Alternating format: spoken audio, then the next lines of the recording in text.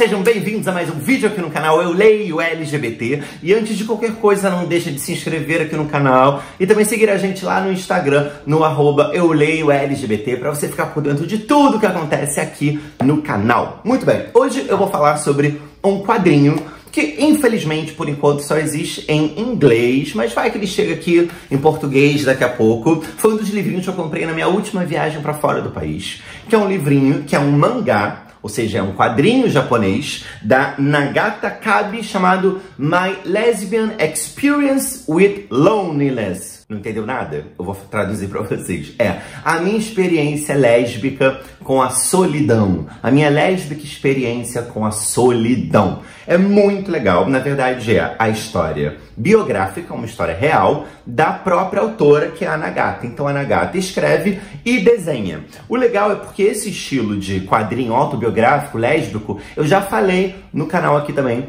com o livro Fun Home e com o livro é, Você é Minha Mãe, que são dois livros da Alison Bechdel. Um, o primeiro Fun Home até virou um musical na Broadway, foi muito legal também. Enfim, os dois são muito interessantes da relação dela como uma garota lésbica e é, cartunista também, claro, com o seu pai que se suicidou e depois com a sua mãe. É muito, muito, muito interessante também, então fica a dica e o link aqui para vocês também acompanharem Fun Home e Você é a Minha Mãe. Mas agora a gente tá falando sobre esse livro aqui da Nagata, que é muito, muito legal, porque mostra uma garota de quantos anos? De 28 anos, que era virgem. E o mais legal do livro é porque o livro mostra realmente uma personagem sucumbindo a uma ansiedade muito grande para tentar suprir as expectativas que os pais dela têm, para tentar suprir as expectativas que ela tem. Então ela começa durante o livro inteiro. Eu não gosto dessa pressão de porque eu sou mulher, eu tenho que ser assim, eu tenho que ser assado. E aí ela vai e ela consegue um trabalho para agradar os pais dela. Aí ela consegue o trabalho e fala: "Gente, consegui um trabalho". Aí os pais: "Mas isso não é um trabalho de verdade?" "Não, mas esse não tem carteira assinada". Aí ela fala: "Gente, mas eu consegui isso, eu tô juntando um dinheiro. Esse dinheiro não vai dar para nada. Esse não sei o que, então você vai lendo e vendo como que também as pessoas ao redor dela não dão valor para ela e não dão incentivo e são totalmente tóxicas e ficam afundando ela ainda mais numa ansiedade, numa insegurança. Então é uma personagem muito insegura, tentando ficar bem, tentando ficar feliz e não conseguindo, né? Tem todo um lado também sobre a sexualidade dela, como que ela se descobre lésbica, tem humor, tô falando que é uma personagem, né, muito ansiosa e que vai emburacando nas coisas, mas isso é escrito também de uma maneira sensível, mas também várias horas muito bem humoradas. Então agora para ilustrar um pouquinho do que, que eu tô falando, eu vou mostrar para vocês algumas ilustrações, alguns trechinhos desse livrinho. Olha só.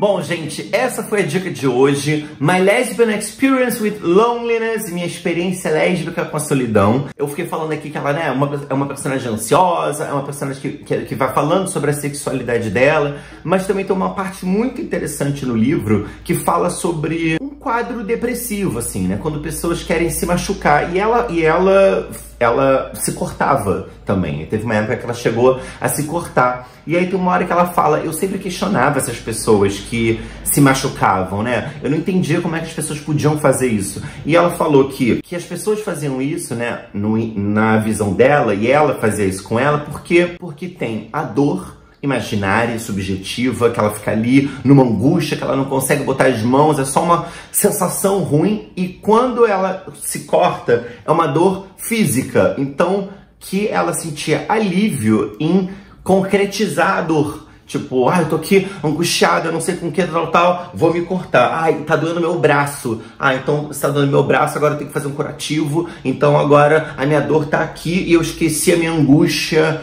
é, subjetiva que eu não conseguia botar a mão. Então isso me chamou muita atenção, assim, porque eu sei que isso não é tão raro, né? Pessoas se machucarem, pessoas se cortarem. E, e essa explicação que ela deu, né, faz muito sentido, assim, é tentar concretizar botar a dor num plano físico e não tão emocional assim. Enfim, o livro levanta várias questões, eu recomendo muito, tá bom? Então, essa foi a leitura de hoje, a dica de hoje, e a gente se vê, claro, no próximo vídeo, tá? Beijo!